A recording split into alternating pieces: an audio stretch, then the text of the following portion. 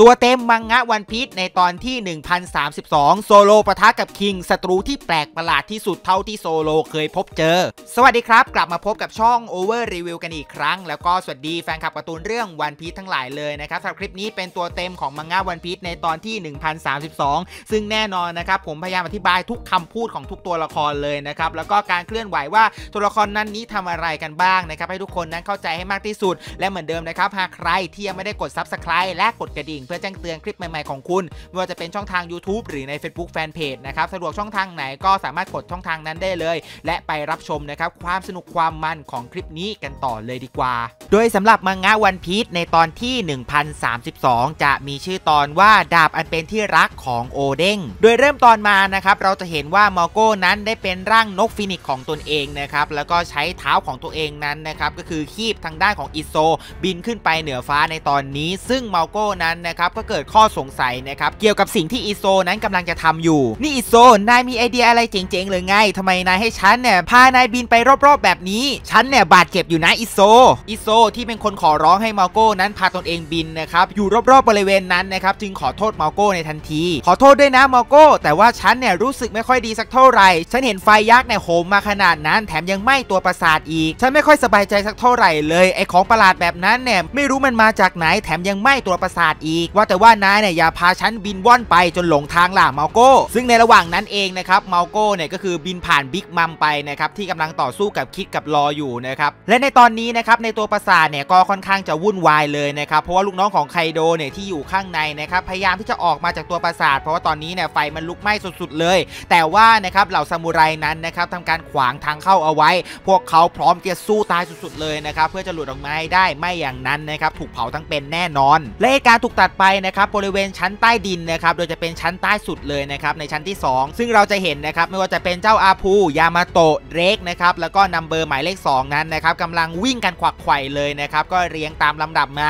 โดยมียามาโตะนั้นเป็นผู้นำนะครับโดยอาพูนั้นนะครับพยายามเรียกยามาโตะคุณหนูยามาโตะได้โปรดฟังฉันก่อนเถอะแต่ว่ายามาโตะนั้นนะครับไม่ฟังนะครับโดยเธอบอกว่าฉันบอกแล้วไงว่าตอนนี้ฉันไม่ว่าง และนายเนี่ยเลิกวิ่งตามฉันสักทีสิส่วนเรกนั้นที่วิ่งตามมาด้วยนะครับก็พยายามพูดเตือนอาพูแหละครับว่าเมื่อไหร่นายเนี่ยจะเลิกทำอะไรบ้าๆแบบนี้สักที ซึ่งในระหว่างวิ่งนั่นเองนะครับก็มีนัมเบอร์หมายเลข2นะครับอย่างฟูกะนะครับซึ่งก็มีการเฉลยแล้วครับว่าฟูกะจริง ๆ แล้วเนี่ยก็เปรียบเสมือนเป็นเพื่อนของยามาโตะแต่ว่าทั้งสองคนนี้นะครับก็ไม่ได้เจอกันนานแล้วนะครับยามาโตะก็บอกกับฟูกะแล้วครับว่ามันานแค่ไหนแล้วเนี่ยฟูกะที่เราทั้งสองเนี่ยไม่ได้เจอกันมานานแสนนานแล้วนะ แต่ฉันก็ยังไม่ว่างนะ เพราะฉันเนี่ยกำลังรีบอยู่ ซึ่งในระหว่างที่กำลังวิ่งอยู่นั่นเองนะครับก็เป็นร่างของบลูกับโรบินทั้งสองคนนั้นนะครับก็ตกมานะครับจากที่สูงเลย แล้วก็ตกลงมานะครับบนหัวของฟูกะบลูที่ตกลงมานะครับเขาก็ไม่รู้แหละครับว่าเขาตกลงมานะครับใส่อะไรนะครับโดยตอนแรกเขาคิดว่านะครับตกลงมาเนี่ยใส่เบาะหรือเปล่า แต่ว่าจริง ๆ แล้วนะครับมันไม่ใช่นะครับโรบินบอกว่าไม่ใช่เบาะหรอกแต่ว่าเป็นผมมากกว่า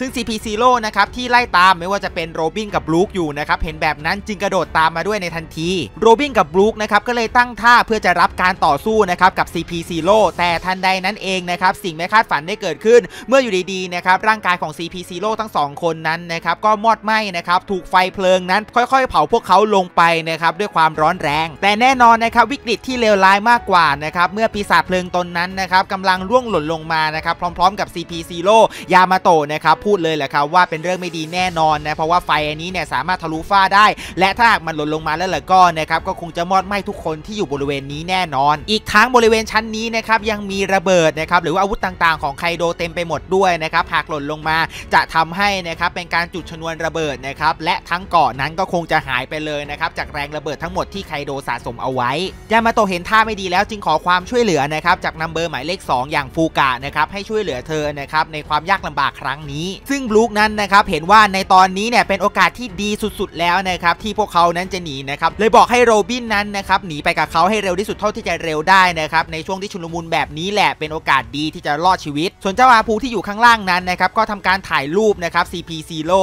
นะครับและก็บอกเลยแหละครับว่าไอ้พวกสุนัขรับใช้ของเผ่ามังกรฟ้าเนี่ยมาปรากฏตัวอยู่ที่ปราสาทไคโดนี่นะ เกิดอะไรขึ้นกันแน่ หรือว่าตั้งแต่เจ้าโดฟามิงโกนะเนี่ยถูกจับตัวไปรัฐบาลโลกก็เลยสั่งให้พวกแกนะเนี่ยมาติดต่อซื้อขายกันเองที่นี่สินะ นี่มันคงจะเป็นสกู๊ปเด็ดแน่นอน ฉันจะขายข่าวนี้ให้กับเจ้ามอแกนละกัน CP0 เมื่อได้ยินแบบนั้นนะครับดูเหมือนว่าจะโกรธนะครับก็เลยบอกว่าแกน่ะหุบปากไปซะ แล้วก็ใช้ท่าดัชนีพิฆาตของตนเองนะครับโจมตีเข้าใส่อาภูเต็มแรง เล่นเอาเจ้าอาภูนั้นน็อกลงไปนะครับแล้วก็ลงไปกองที่พื้นนะครับแล้วก็เลือดเนี่ยก็คือเต็มไปหมดเลย ซึ่งในระหว่างนั้นเองนะครับเอ็กซ์เดรกนะครับก็วิ่งตามมาพอดี CP0 นะครับก็เลยพูดกับเอ็กซ์เดรก นี่เอ็กซ์เดรกแกคิดว่าเนี่ยเรื่องราวของแกนั้นเนี่ยจะเป็นความลับของพวกฉัน CP0 หรือไงเอ็กซ์เดรกนะครับก็เลยเปิดเผยตัวตนแหละครับว่าแกคงรู้แล้วสินะ แต่สิ่งหนึ่งเลย ฉันก็อยากจะรู้เหมือนกันว่าคนอย่างพวกแกน่ะมาทำอะไรที่นี่ CP0 นะครับก็เลยง้างหมัดนะครับแล้วก็โจมตีใส่เอ็กซ์เดรกนะครับแล้วก็บอกเลยแหละครับว่าพวกฉันมาที่นี่เนี่ยเพื่อจัดการไอ้พวกสวะอย่างพวกแกยังไงล่ะแต่ CP0 นะครับจะใช้ท่าดัชนีพิฆาตโจมตีใส่เอ็กซ์เดรกไม่สามารถโจมตีได้นะครับเพราะว่าเจ้าอาพูนั้นนะครับได้ใช้พลังของตนเอง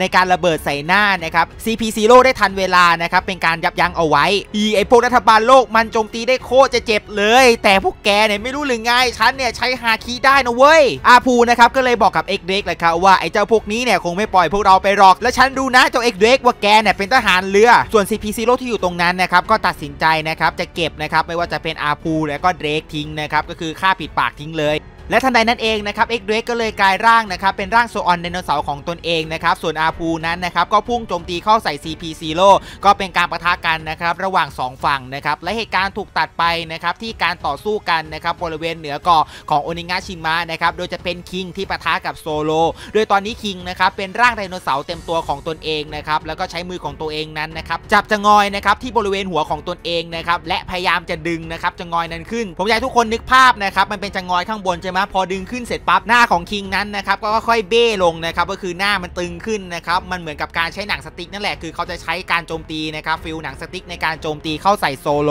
เรียกได้ว่านะครับเป็นรูปแบบการโจมตีที่แปลกนะครับแล้วก็ไม่ค่อยเข้ากับ look ของคิงสักเท่าไหร่เลยนะครับจากก่อนหน้านี้เนี่ยเป็นตัวตึงๆนะครับแบบ feel ยืนเท่ๆกลายเป็นตัวขำตัวฮานะครับคือไม่แตกต่างจากควีนเลยนะครับจากรูปแบบการโจมตีของพี่แก แต่การโจมตีนี้นะครับถือว่าไม่ธรรมดาเลยนะครับเพราะว่าการโจมตีเนี่ยมันคล้ายนะครับกับการปล่อยเป็นแสงเลเซอร์ หรือแสง beam จึงทำให้โซโลนั้นนะครับไม่สามารถบล็อกการโจมตีนี้ได้นะครับมีแค่หนทางเดียวเท่านั้นก็คือโซโลจะต้องหลบให้ทันโซโลนะครับจึงกระโดดหลบการโจมตีของคิงได้นะครับแบบหวุดหวิดเลย ซึ่งคิงนะครับที่โจมตีรูปแบบแปลกๆ แบบนี้ไปนะครับก็ตอบกลับมานะครับด้วยความภาคภูมิใจ เป็นยังไงล่ะนี่แหละก็คือรูปแบบการล่าเหยื่อของเทอราโนดอนในยุคสมัยก่อนยังไงล่ะโซโลนะครับเมื่อเห็นแบบนั้นจึงสวนกลับไปทันที โดยใช้ท่านะครับพร 360 ประการโจมตีสวนกลับคิงขึ้นไปนะครับแต่ว่าคิงนั้นก็สามารถหลบได้ทันพอดี ซึ่งโซโลนั้นนะครับก็วิเคราะห์นะครับการต่อสู้ไปด้วยนะครับโดยเขาก็บอกเลยแหละครับว่าหากเขานั้นนะครับไม่ได้อยู่เข้าใกล้คิงนะครับการโจมตีของเขานั้นก็คงจะเปลืองพลังงานไปเ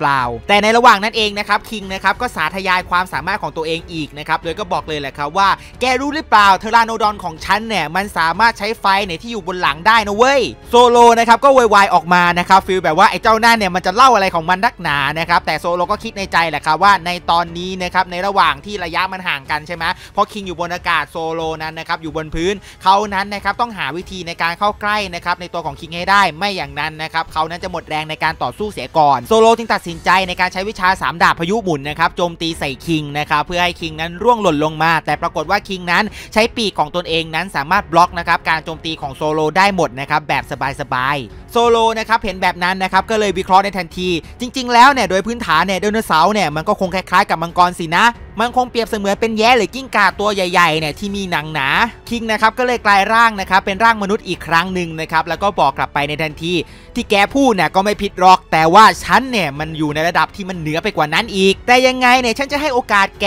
เพราะฉันจะใช้ดาบในการต่อสู้กับแก เพื่อให้แกนะเนี่ยได้ใช้ดาบที่แกถนัด เพราะว่ามันไม่ได้มีแค่แกคนเดียวหรอกที่อยากจะต่อสู้ด้วยการต่อสู้ที่มันสุดยอดและก็ยอดเยี่ยมโซโลนะครับในระหว่างที่กำลังปะทะฝีมือเพลงดาบนะครับกับคิงอยู่นะครับก็วิเคราะห์ไปเลยแหละครับว่าจริง ๆ แล้วเนี่ยตั้งแต่ต่อสู้กับเจ้านี่มาเนี่ยเลือดมันเนี่ยไม่ไหลออกมาเลยสักหยด อีกทั้งมันเนี่ยใช้ปีกในการป้องกันการโจมตี แต่ว่าฉันไม่เห็นเจ้านั่นเนี่ยใช้ปีกในการบินเลย อีกทั้งเปลวเพลิงที่หลังเจ้านั่นเนี่ยก็ลุกโชนตลอดเวลาเลย หรือว่าจะเป็นความสามารถของพลังผลปีศาจของเจ้านั่น แต่ถ้าให้ฉันเดาเนี่ยคิดว่าไม่น่าจะใช่ หรือว่ามันเป็นมนุษย์เงือก หรือจะเป็นเผ่าคนยักษ์กันแน่ หรือใน worst case สุดๆ หรือว่าเจ้านั่นเนี่ยเป็นคนของเผ่าพันธุ์ที่ฉันเนี่ยไม่เคยรู้จักมาก่อน แบบนี้ก็แย่เลยสิฉันเนี่ยจะชนะเจ้านั่นไม่ได้แน่ๆหากไม่รู้ข้อมูลเกี่ยวกับกับเผ่าพันธุ์ของมัน และในระหว่างนั้นเองนะครับโซโลถูกคิงโจมตีนะครับแล้วก็กระเด็นไปนะครับโดนก้อนหินนะครับแต่ว่าเขานั้นนะครับล้มลงไปนอนกองกับพื้นนะครับและดูเหมือนว่านะครับกำลังบาดเจ็บสุดๆ เลย แต่ไม่ใช่เป็นเพราะการโจมตีของคิง แต่ว่าเป็นดาบเอ็นมะนั้นนะครับค่อยๆ สูบฮาคิของโซโลไป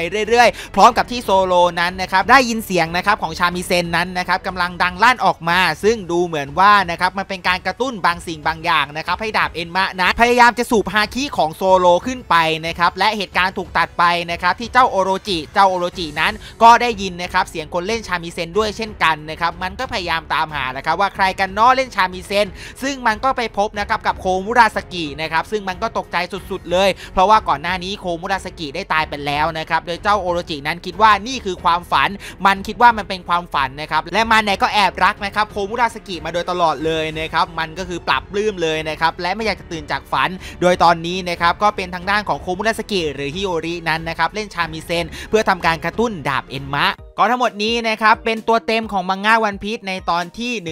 1032 นะครับก็หวังว่าทุกคนนั้นจะเข้าใจนะครับที่ผมอธิบายในเรื่องนะครับพยายามอธิบายมันละเอียดที่สุด ให้ทุกคนนึกภาพจินตนาการออกแหละครับว่ารูปแบบการโจมตีการพูดคุยนะครับแบบชัดๆเลยนะครับทุกคำพูดว่าเป็นอย่างไรกันบ้าง หากเพื่อนๆนะครับชอบคลิปนี้ก็อย่าลืมเนอกกดไลค์กด Subscribe และกดกระดิ่งนะครับเพื่อแจ้งเตือนคลิปใหม่ๆของคุณ และเดี๋ยวนะครับก็มีประเด็นมากมายเลยนะครับที่จะทำนะครับไม่ว่าจะเป็นมังงะอันนี้หรือมูฟวี่ใหม่นะครับก็ติดตามไว้เดี๋ยวทุกท่านได้รับชมรัวๆแน่นอนนะครับสำหรับช่วงนี้และเหมือนเดิมนะครับ หากใครนะครับอยากจะรับชมอะไรคอมเมนต์มาสำหรับวันนี้คงต้องขอตัวไปแล้วขอขอบพระคุณครับ